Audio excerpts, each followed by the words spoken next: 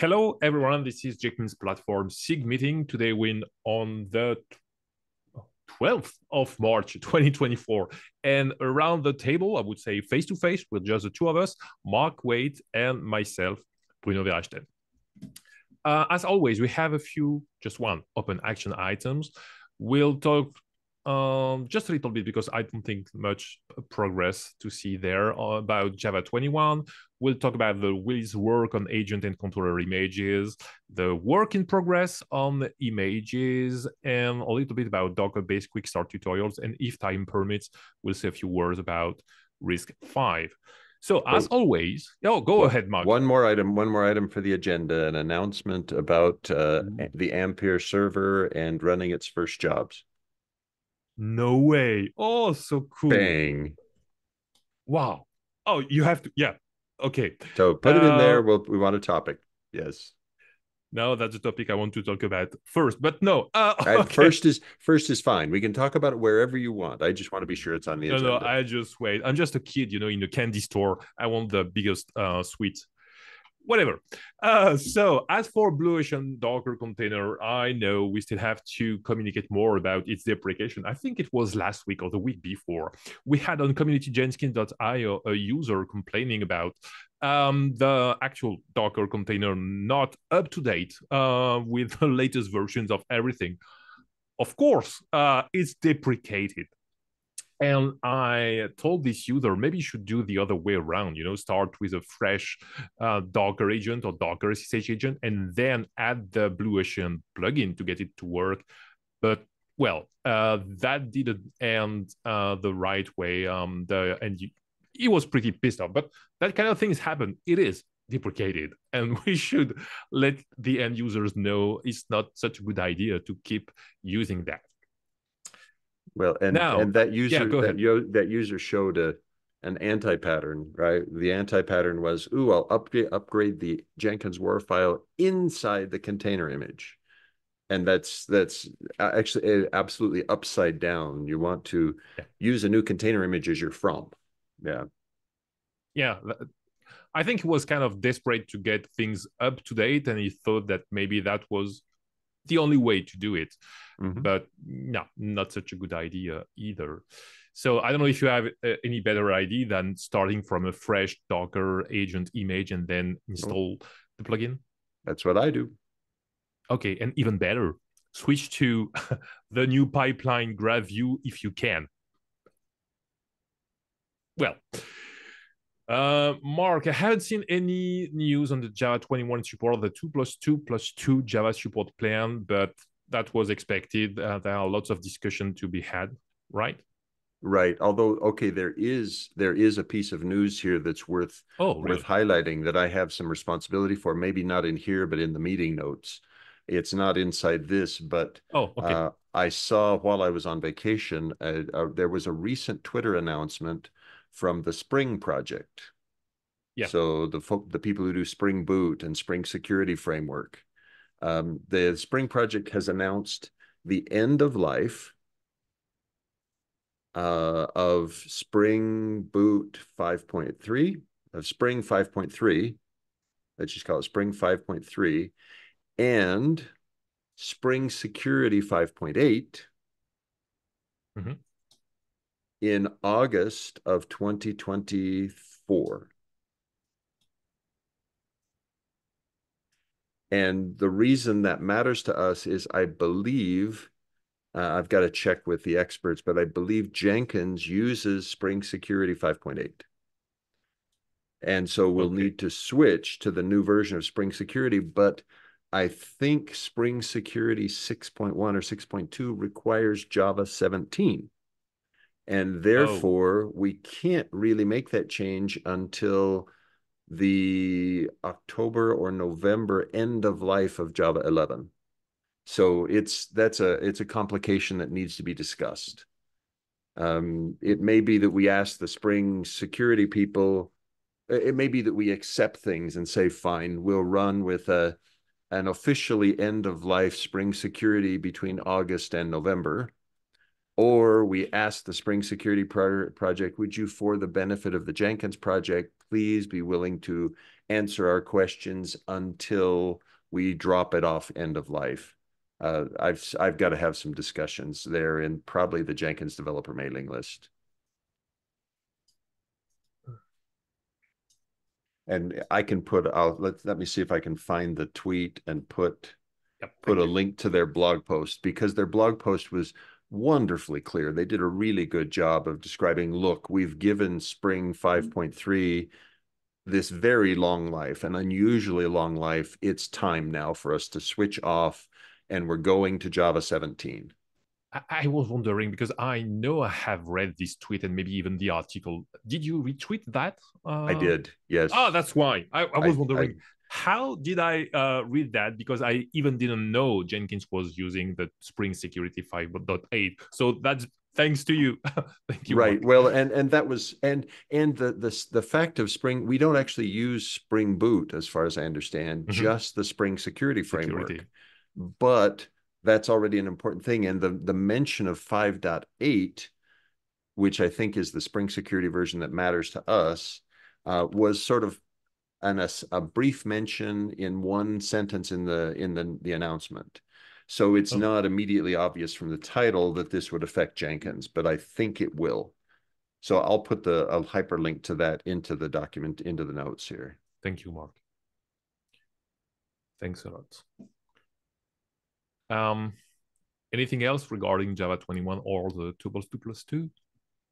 Um, well, so we've we've certainly still got to capture what we learned from the Jenkins Contributor Summit for two plus two plus two, uh, and we've made progress that Basil Crow and Vincent Latombe have both done um, improvements. Actually, it should, be the other direction. Vincent started it, so Vincent Latombe um, was the one who started the the implementation of improvements for that help with the transition from 11 to 17 there's still more to do but but it's it's really great that they've started that Okay. Thank you. Oh, so and you found the link. i did yeah Thank you. so and, and now i've got to double check that i'm i'm not mistaken in terms of the version of spring security framework that we use in jenkins core i'll go check that now Yeah, why not?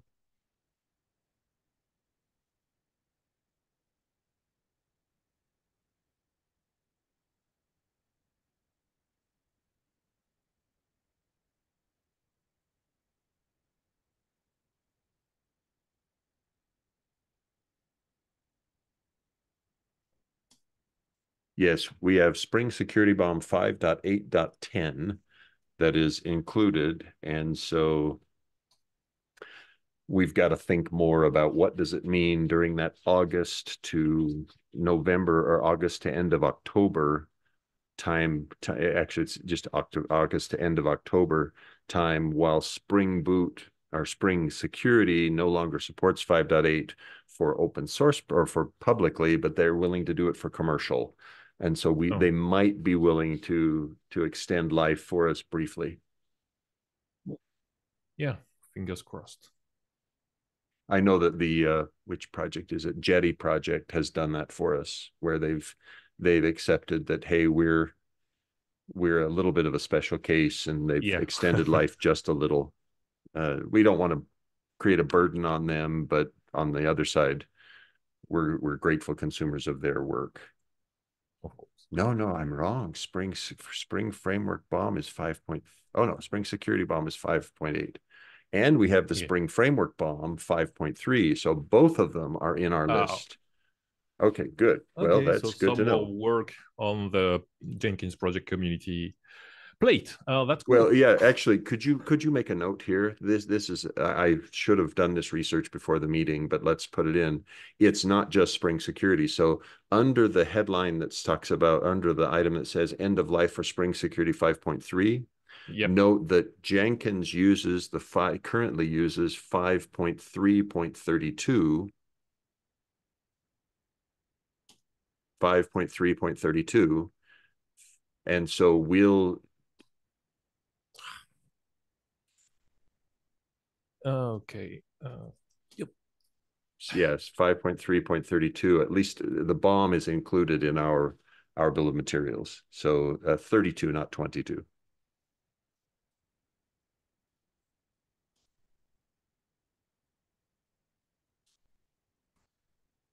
And so that that means we've really got multiple components that during this August to October timeframe, uh, we need to decide what do we do with them. I'm not. I don't think we we can or should accelerate the end of life of Java 11 for the Jenkins project.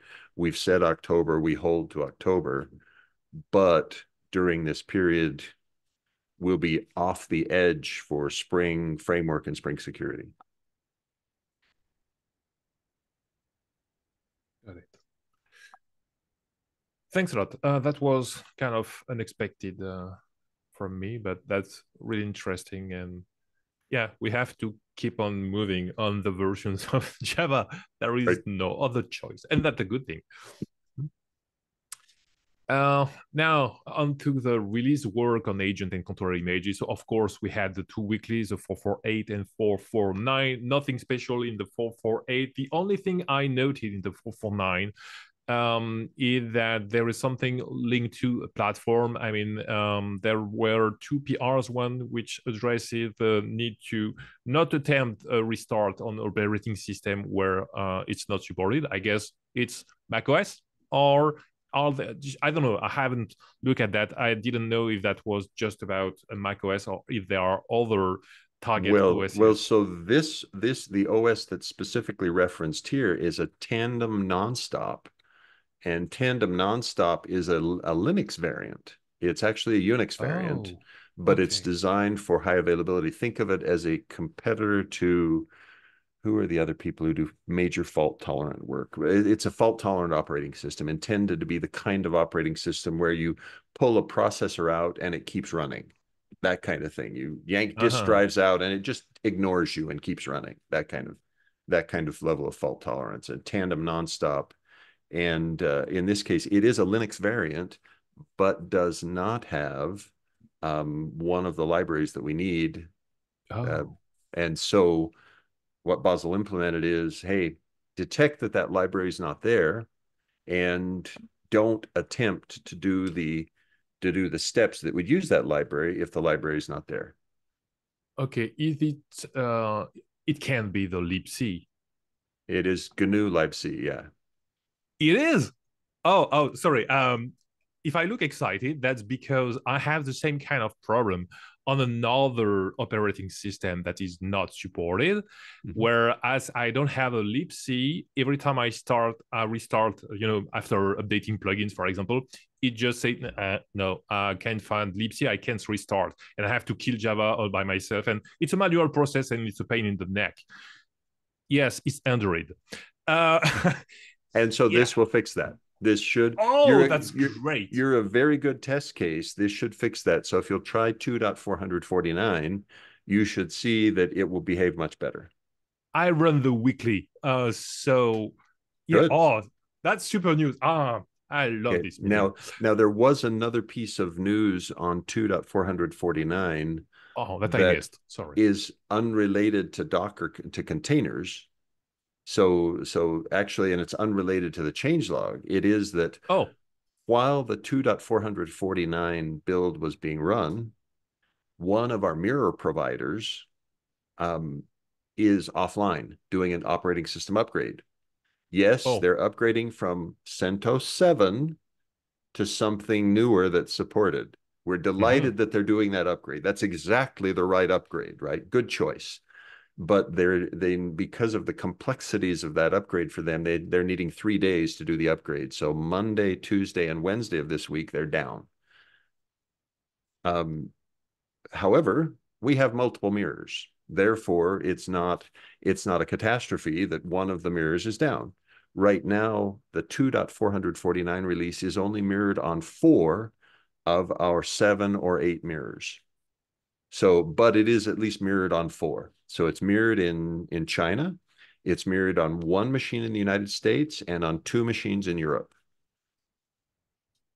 So we've got reasonable coverage even Yep. with this mirror being down.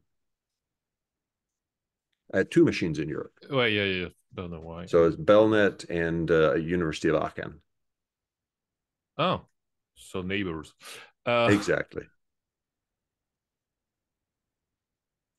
In Aachen, just next to the Belgian border. Correct. Right. Cool. Um,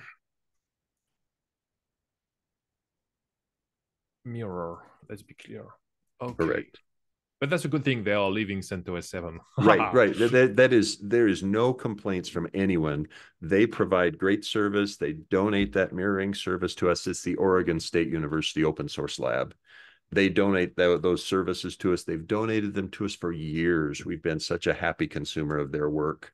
And, Yeah. and it's very, I'm, I'm delighted that they're doing the upgrade. That's really great. Next week, they will upgrade another one of their servers that we use it will probably be a lower impact, or maybe it's later this week. It'll be a lower impact than this one because this is a specific one we mentioned by name.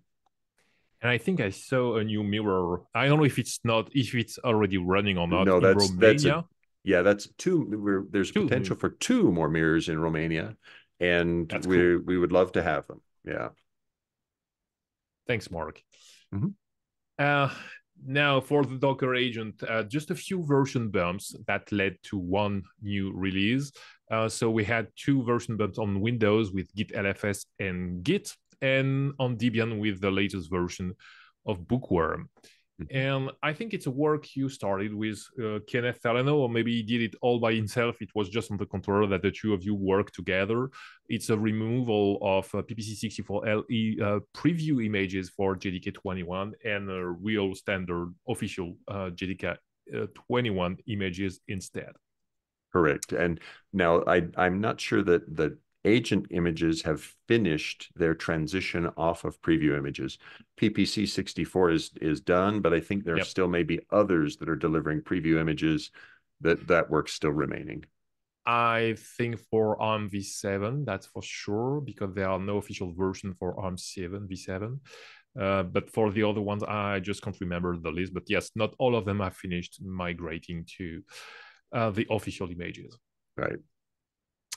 Now, for the work in progress on images, we still have the long running uh, update CLI JDK 11 and 17 manifest for Windows. It's a draft for, it has been a draft for quite a long time, but it's not an urgent work. So that's pretty good. Thank you, Hervé, for the work.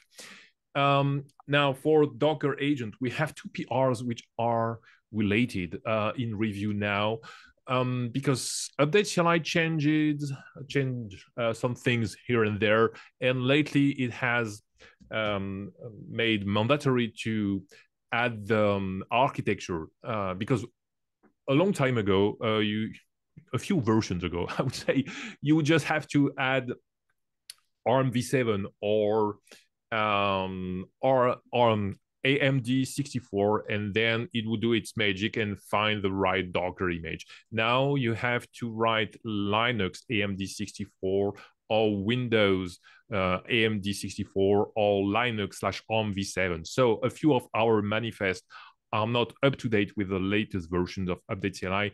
That's why uh, the latest versions of the JDK aren't up to date anymore on the um, uh, Docker agent project. That's unfortunate, but we are working on it. So we have two different PRs. The first one is pretty straightforward. It's just adding architecture, so adding Linux in front of a line, uh, ARM v7, for example, or adding Windows where it's a Windows image so that it works again. And the other one is more tricky. It's also about changing the script file that we're using to detect the exact version of the Temurin um, image. And yeah, sometimes you have a plus, sometimes you have a minus, sometimes you have an underscore. It's kind of difficult. And the problem we are facing these days is because there are some minor, some patch versions of the Temurin binaries, and some of them are only targeting macOS. Uh, so of course there is no Docker image for macOS. So the GitHub says, "Oh, I've got a new version," and then we're looking for a new version on Docker Hub, and we can't find it. So this latest PR tries to help with that. Uh, as for Docker SSH agent, we have also two PRs on the same subject, um, which are in review now. It's about Windows, if I'm not mistaken. Yeah, it's a bump of Git LFS. And I saw you react on one of these, uh, Mark, if I'm not mistaken. Yeah. Because we had another, uh, a previous version, uh, I think it was, oh, I can't remember, but whatever. Uh, in fact, it's a bump Git LFS 14341 and 14351. And I think that the two of them need the, the same fix because they don't build for the time being. So it's well, and Hervé Hervé had provided that fix in us in another pull request. So okay. so it, but but I, I, think right now his time is better spent in other places. So it, it yes. may be a while before those things are updated. And nobody asked for that uh, update except uh, Dependabot or Update CLI. So that's okay. Right. Uh, we don't have any CVE or whatever to do. So we can go ahead and do it when times permit. Uh, now, uh, Docker-based quick start tutorial. So the Node.js tutorial is done. It's live. And now we're working on the multi-branch pipeline tutorial. Thanks for approving my PR, by the way, uh, so that the sample repo corresponds to the actual documentation. It's almost uh, ready to go. I still have a few screenshots uh, to adapt and that should be okay. And then we'll tackle with the main Jenkins installation thanks to Docker documentation we'll see. And um, just in case, I also started the code, not the tutorial, just the code for uh, an Android uh, version, just in case we would have the time to write, uh, get started with Android and Jenkins. And same for Golang. Uh, this week, I started to have a Docker file specified for Golang. I made my first test and it seems to work. I'm not fluent uh, in Golang at all, Maybe one day, one day, we'll see. Mark, next subject, the Ampere server run its first job. I didn't expect that before the end of March. So how did you do that? Yeah, so well, actually, are you okay stopping sharing your screen yes, and let me course. share mine because I want to show my screen. I, I, think this is a fun one just to show where we're at. Uh, let me find the button. Oh yeah, of course, stop share.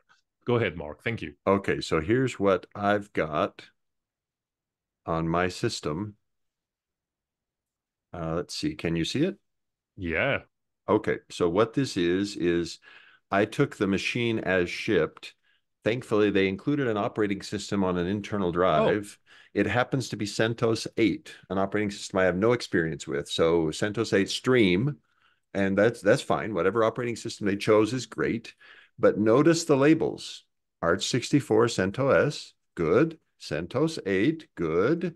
Now, if we look at the build history, we see all sorts of jobs that have run on this machine. Wow. And these are just the freestyle projects, not the uh, not the the pipeline projects, because pipeline projects don't show up in this view at all. And so this set already, so for instance, the Git plugin, the Git client plugin built one of its jobs on it.